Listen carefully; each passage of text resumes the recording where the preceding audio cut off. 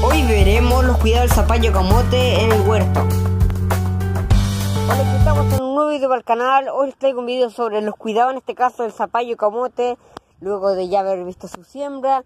Y por supuesto después veremos en este caso la floración quizás, pero la recolección va a ir segura, si es que sea todo bien. Bueno, en este caso aquí tengo unas plantitas, como ya están igual bastante crecidas, ¿ya? Llevan como un mes, un mes y medio. Así que están bastante bien, ¿ya? Y bueno, las otras que plantamos, como ya eh, han germinado, la mayoría, sea, ya germinaron, pero no hace tanto tiempo, ¿ya? Igual están sacando flores, en este caso, como ven, van bastante grandes, ya van eh, haciendo ramos, se puede decir, para los lados. Entonces ya están eh, mejor, ¿ya? En este caso estas son las que van un poco más avanzadas, que están justo como para grabar, ¿ya? Y bueno, hoy día vamos a hablar del riego, en este caso aguanta helado o no, eh, si le queremos echar nutrientes, cómo lo podemos hacer y todas esas cosas. Así que, eh, bueno, comencemos por el riego. En este caso ustedes me preguntarán, esta planta ahora, así tal como está, ¿cuánto riego o cuántas veces se tiene que regar la semana? Y bueno, lo ideal sería entre dos a tres veces ya porque no le gusta tanto, se puede decir, la, el exceso de humedad, porque le pueden salir hongos, y no una planta que le guste mucho en este caso, se puede decir, el frío y el, exceso de agua, ¿ya?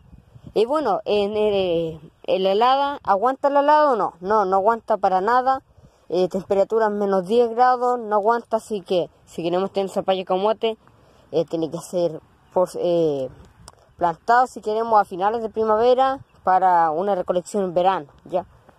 A lo más tardío del verano, si en este caso si queremos seguir sacando, ya.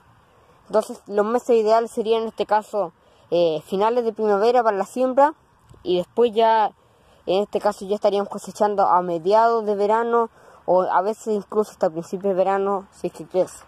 Es bueno, esta planta necesita poda.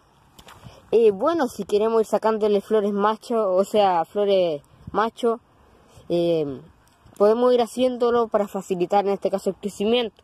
Ya, pero yo prefiero dejarlo así tal cual porque eh, en este caso en el momento de que haya una flor hembra se poliniza mucho mejor y el cultivo también se da mucho mejor, más rápido. Ya. Y bueno, necesita nutrientes esta planta. Y bueno, primero que todo, yo nunca recomiendo tener nada, en este caso echarle nutrientes el cultivo en sí, ¿ya? Es bueno, lo que yo sí recomiendo, por ejemplo, hacer un sustrato que tenga perlita, que ayude a mantener en este caso la humedad para ciertos tipos de plantas, en este caso no, ya, pero yo recomiendo aplicar todo eso, por ejemplo, el glifosato, eh, eh, se puede decir en el sustrato, ¿ya? ¿Por qué? Porque ahí ya va a estar deshecho, se puede decir, ya va a en la tierra, ¿ya? Entonces, si lo echamos de golpe ahora, no va a funcionar, ¿ya? Y bueno, esto ha sido eh, todo el video de hoy, así que espero que les haya gustado, que estén bien, eh, que se suscriban